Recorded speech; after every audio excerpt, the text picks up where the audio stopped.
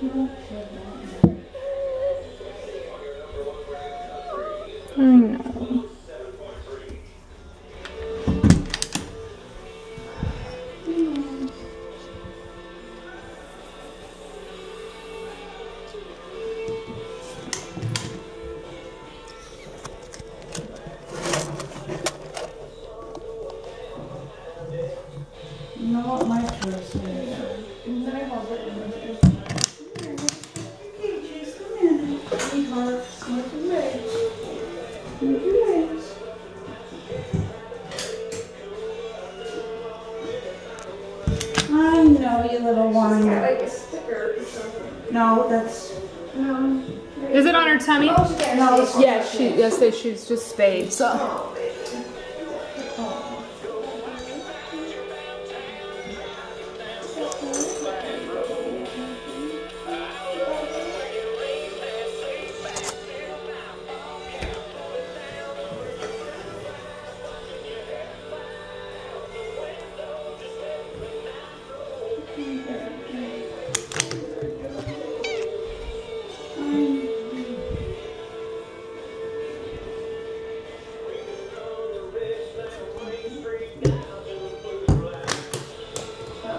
She's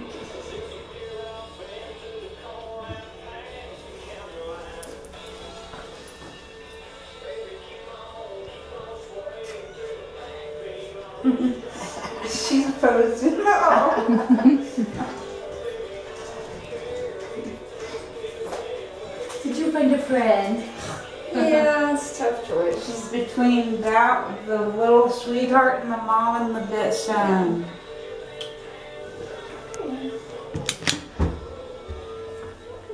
And she does do better on the ground. I mean, she lets you hold her and all that, but like when she's like likes to jump in your lap and likes for you to come sit where she's sitting. Yeah. She tolerates you holding her, Yeah. but she definitely likes to be on the ground.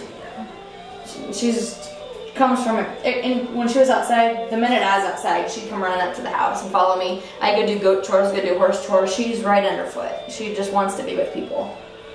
And when she was indoors, like I said, she before she had babies and before I had to put her outside because my other cat wouldn't leave her alone and kept injuring her. Um, She sat on my son's bed and wanted my son to hang with her all the time. And he'd get off the bed and she'd cry until he comes back and sit with her. so she's a very affectionate cat. Come here, where you going, girlfriend? Hi, Mama Kitty. Where are you? Going clear down there. She's friendly. She'll come out.